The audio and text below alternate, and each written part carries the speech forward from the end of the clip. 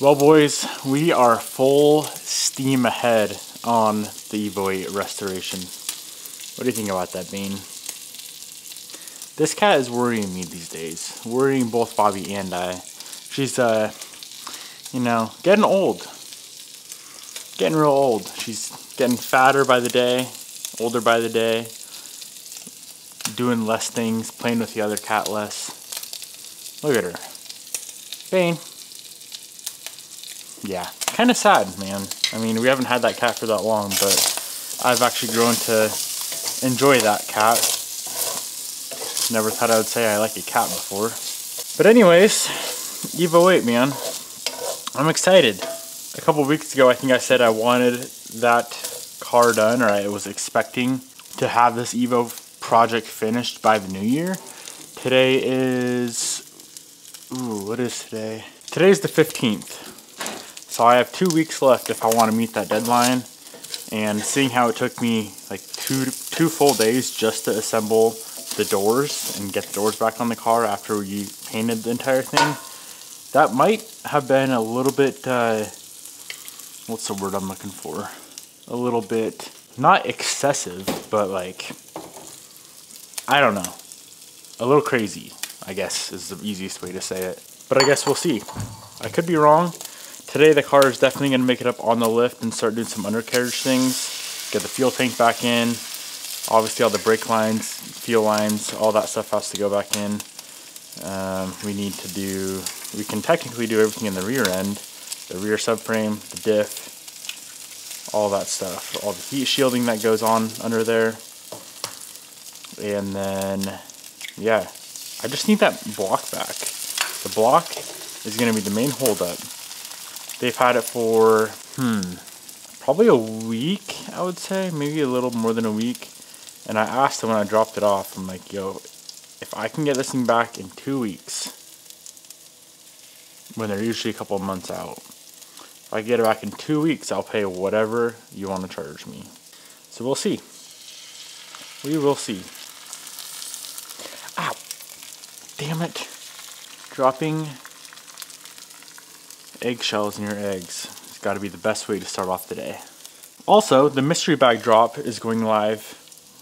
When you're watching this video, it went live yesterday, but there there might still be some available on the website. I'm not exactly sure. I think we had close to a thousand mystery bags available is what we're going for. And uh, that's a lot. So there might still be some available on the website. If there is, I'll link it down below. If not, that's absolutely crazy that you guys already sold it out and just know that I appreciate the heck out of your guys' support. And I guess it would be guys, not guys's. I appreciate the heck out of your guys' support. Would be the right way to say that? This is the official, official test on the Type R. I know you guys are sick of this, but guess what? Hmm. I almost thought the battery was so dead it wouldn't unlock. Guess who's more sick of it? Is me. The reason I show this kind of stuff well, number one, apparently this is just the reality of cars. And number two, this is becoming such an odd issue that maybe in the future, when you guys are going to have a car that drains the battery with literally no parasitic draw, and one day I'll resolve the issue. I mean, it's way less. So last night we left, I'm looking at the whiteboard, 12.41, and it's at 12.32. So 0.09 volts is what it dropped. If I remember correctly, Bobby's dropped like 0.05, 0.06, but this has been sitting quite a bit longer. I would say another couple hours over what Bobby's car was sitting. I'm gonna say that is, I guess, fixed for now. I kind of need to do a test like a I mean, let's be real, the car isn't really to sit for a week straight, and if it does, it usually goes on the battery tender, is what I try to do with the cars. So it dropped 0.09 volts in, that's got to be at least 12 hours. That's not bad. It used to be more than double that with the old battery. So, I guess that means the battery was shot.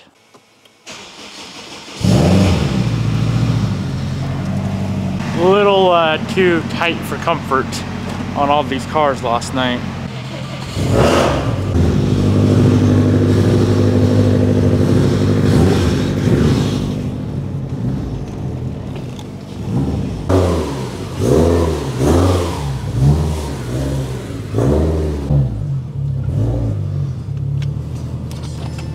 Should probably find a good solid place for this hood. I would probably cry if that thing ended up getting damaged. Being that I just keep plopping her in random spots in the shop. This freaking car, man.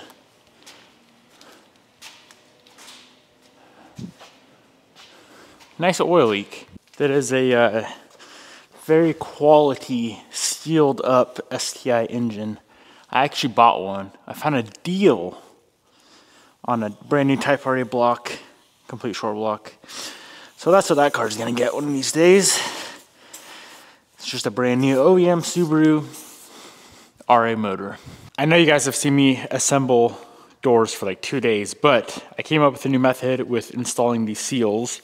And you, some of you guys probably already know this, but if you put it in from that side like that and just push on it, it just pops right in. I was doing it the opposite way. So I'd go in like that, grab this stupid little plastic freaking trim piece here and press it in. But no, that's a waste of time. Don't do it that way. Clip it in like that first and just press it on in there. Look at that. So much easier. Also, I do have to give some appreciation to you guys. The mystery box mystery bag drop went live and within like six minutes it was 50% sold out. So some of you guys are absolutely crazy on the on the site and I just want to let you know that I really appreciate you guys' support with that company. It's mind blowing what it's grown into and I'm excited for the new year to do new exciting things. So thank you. Well, with the doors finally fully assembled, this thing's going on the lift for the first time since we freaking painted it. And we can start doing exciting stuff. Because let's be freaking real, man. Assembling doors, I know it's like important and all, but it's not fun. At least for you guys to watch, I would imagine. I don't mind assembling them because working on nice cars is always fun, but as far as YouTube content, it's pretty boring. Pretty boring. Fenders, there's no point in installing. Hood, no point in installing. And there's no other panels to install. We could do the full interior, but I'm looking forward to the underside. Ba-da, ba-da, ba-da, ba-da, ba-da.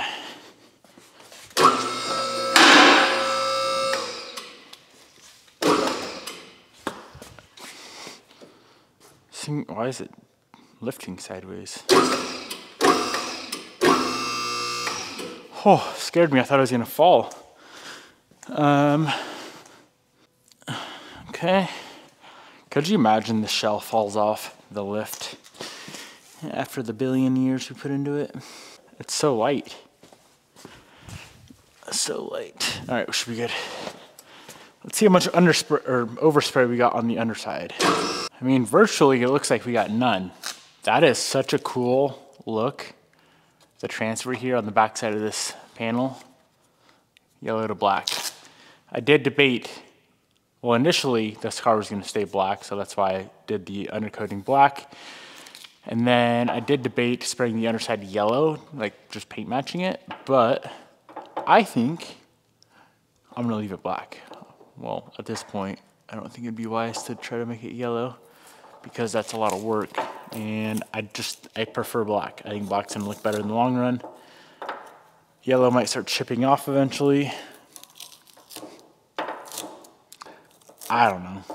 I'm gonna leave it black. Well, I'm sad to announce we got our first damage on the body. We have two outward dents right here. Now I know, of course, these weren't there before. We would have seen them. I'm assuming when I was putting, mm, the window fell and I'm betting the glass hit this. That would have to mean the glass is stronger than the sheet metal, which is a safe assumption. And it looks like it dented it outwards. I'm hoping that after this paint cures for maybe another couple of weeks, I'll just call out the PDR guy, have him tap that back in, and we should be good. It sucks, but I think it's easily fixable. I just got a call from a shop that has something that we need. What's up, man? For you. 147, there's that. Have you signed that top copy? Perfect. Thank you, man. Yeah, you have a good one, man. You as well. See ya. Oh boy. More zinc. More. When I say I'm trying to build the nicest Evo in the world, I ain't capping. I ain't capping. 0% cap detected here. I went ahead and got the hub sections of the CV axles zinc plated, the gold to match everything else. I know factory, they're painted like this weird green color. Honestly, I don't really like it. I know this is supposed to be OEM spec, but if you can make it better than OEM, you may as well. And then all the stuff for the drive shaft, we got zinc plated. So that's gonna be sick. But let's start tackling some stuff under yonder, underneath this thing. Starting with, let's see, we need brake lines, we need fuel lines right off the bat. So all these need to go, wait, there's more. So those are the main lines that run from the front to the back of the car. There are some individual brake lines for up front, and then all the stuff on the firewall.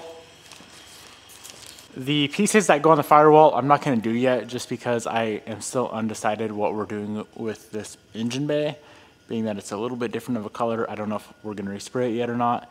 Haven't decided, so for now, let's just get everything else on but that. And it all has to clip together. So we have two lines that run to the rear calipers or the rear brake lines, which are the small ones here. We have the fuel feed line, which is this big one here. So this is the feed. And then we have the fuel return line. Now I know you're probably, some of you guys are probably wondering why don't I just do braided lines for the fuel? And the answer is because there's no point on this car. This thing is gonna only make five, 600 wheel, maybe. And the factory fuel lines are plenty for that. So I think the move is going to be to take our line clips, which, look at that beautiful zinc plating on, and just bolt them, thread them into the body first, and then situate it from there.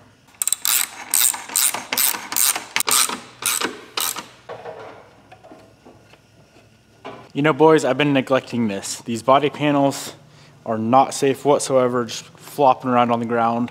So I'm gonna most likely like just line the shop with the fenders, with the hood, bumpers, and then stuff like the mirror caps and whatnot. That can just be packaged up some way. But uh, it'd really be a shame if we messed up these panels. This is gonna be tough. Okay. That should be safe there. Will the fender still fit? I don't like that. What else could go there? The bumper would be perfect. this is anxiety inducing. Not to mention, we need to get to the big oven. In order to get to the oven, the Evo 4's gotta come forward. In order for the Evo 4 to come forward, these parts need to leave.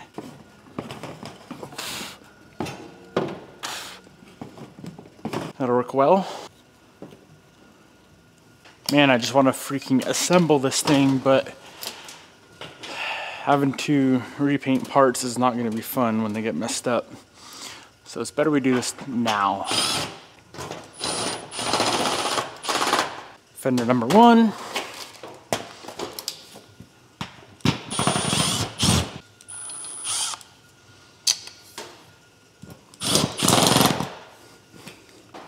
Fender number two.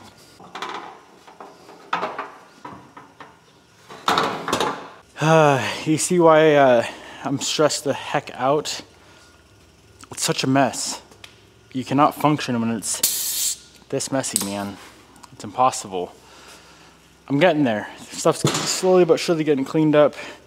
This thing is just gonna be pushed to the front of the shop so that anytime we need to use the oven for powder, which we're gonna be doing a lot of as this thing goes back together, we don't have to move this car every freaking time. And I know, I've seen the comments, sorting parts on this thing, it's sad, man. It really is sad. But when you have a car that's torn apart, where the heck else are you supposed to put stuff? You know what I mean?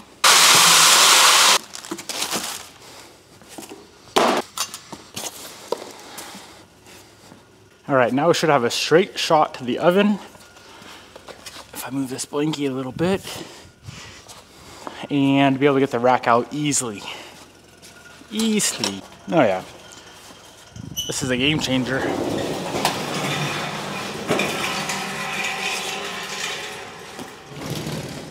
Having your shop clean is a game changer. I tell you what. So we are gonna be powder coating something quite large tonight. I need to get, get it in the oven now and then we can get back on those lines. We are gonna be powder coating the fuel tank for the Evo 8. So I need to get it in the oven for the gas out cycle or the gas out phase. And it's such a big piece that it's gonna take a while, I'm assuming. Now, of course, we can't get powder inside. I already had this thing sandblasted by a local blast shop. And uh, yeah, too big for my blaster. So let's go ahead and mask it off and get this old girl in the oven. These things are gonna have to come off. Okay, she's fully masked off. I need to grind those painted areas real quick. I should have just pulled those rubbers off before blasting, but I didn't. So next best thing. This girl is ready for the oven. tank is hanging.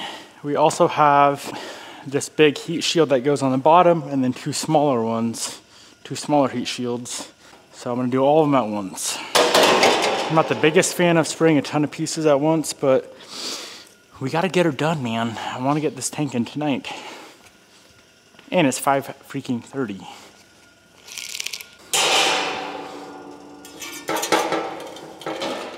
Let's hope our fuel tank is fully evaporated. It's been a couple weeks wide open, so let's hope she's fully, fully evaporated and does not blow up on us.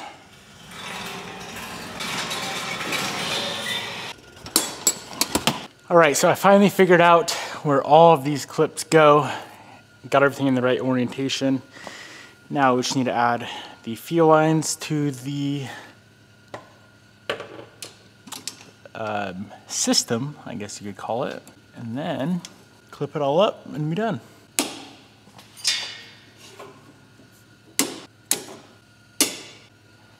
Very bad habit of mine is putting lines on and not tightening them and then forgetting. Alrighty, let's pull this tank out, blow her off with some compressed air, make sure there's no uh, dirt and debris left on it, and hose out some black jack from Prismatic Powders you guys will be amazed. Well, you already know what it looks like, but if you don't know what it looks like, you will be amazed by how good it looks. How OEM it looks.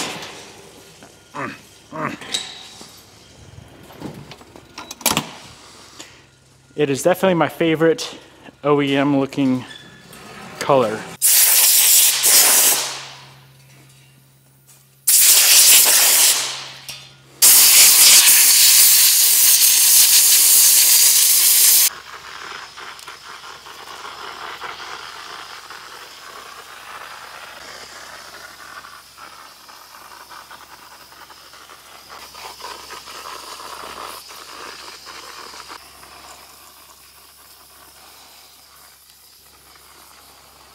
All right, so on bigger pieces like this, I like to do what's called a half bake. So you put it in the oven, let it flow out just a little bit, don't fully bake it, and then you pull it back out, check it with a light, make sure you have proper full coverage on the entire piece.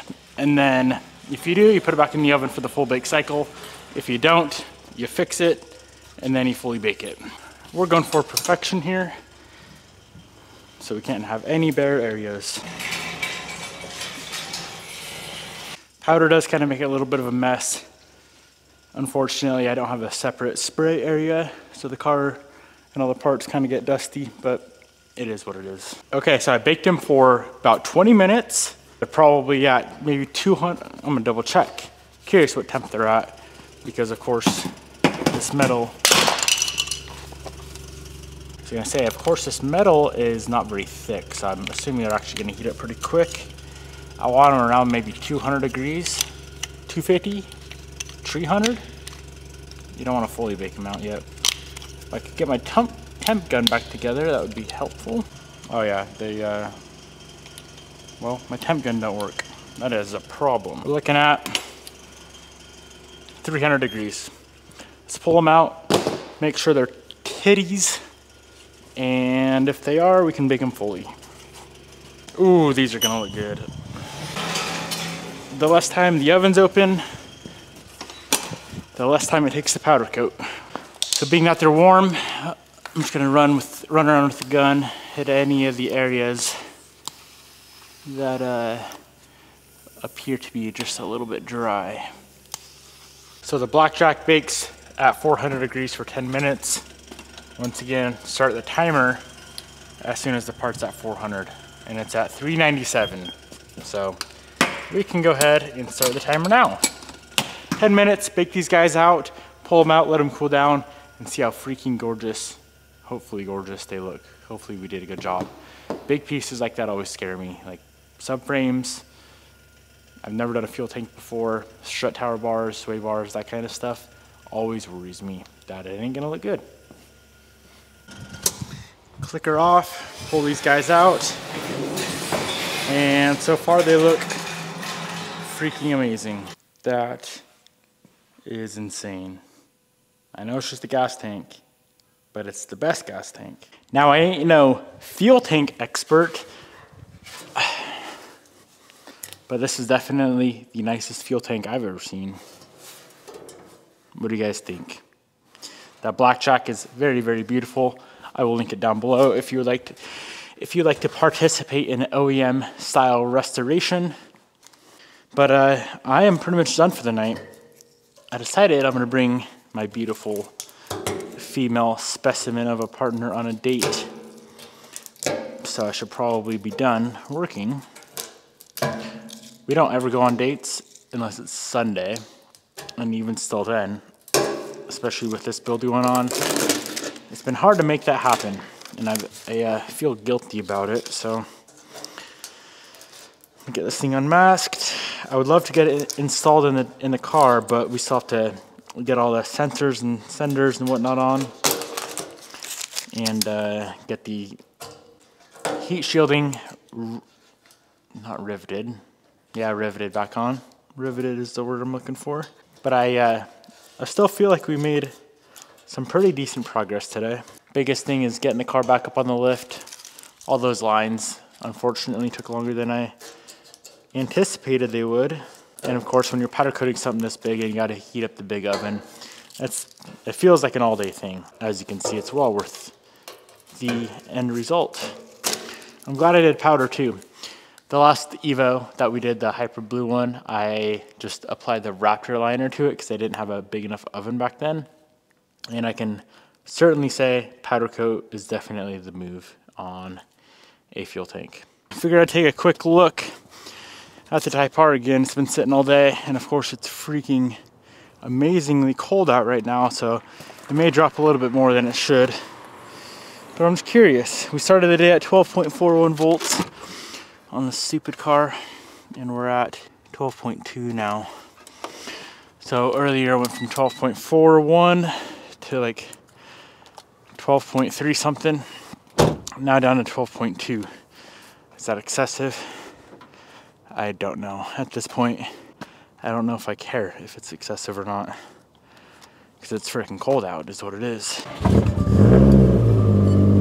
How's it going? I was just coming to check out your oopsies Audi. My outward den. It, yeah. You can go check it out. It's on the driver's door. Okay. You see it right on the bottom there? Oh yeah. Damn, all the way at the bottom? You like that? Nice. Can that be tapped in, you think? Or Yeah, it Unless How- there's like a rock stuck in there. No, I dropped the window when I was putting it in. Yeah. So there's nothing stuck in there. Okay, cool. I just don't know how long we should wait 'cause this car just got painted uh, Friday. Gotcha. It's been baked multiple times in the booth, but yeah, pretty annoyed when I saw that. I'm like, of course, dude. Yeah. Of course. That's heartbreaking. You Yeah. do all that work and then you're like, dink. Yeah, just one little thing. Yeah. Yeah. Whenever you have time, I'm not too worried about it. time right now on tools. You want to do it now? I'm already up here. All right, go ahead, man.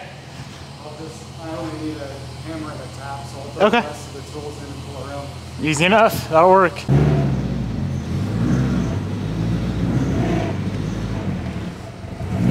PDR man was over at Remy's place and uh, he came and looked at the door.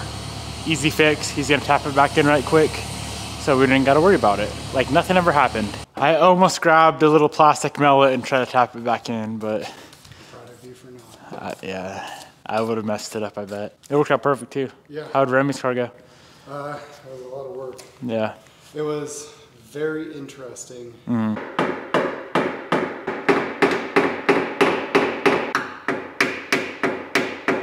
Do you hate when people watch you work? I'm used to it at this point. Yeah. Everybody's super intrigued by it. Yeah, it is cool it's to watch. I remember when I started, I was so intrigued. Perfect. Cool. Awesome. What do you? 20 bucks. Well, I appreciate you uh, doing it so quickly.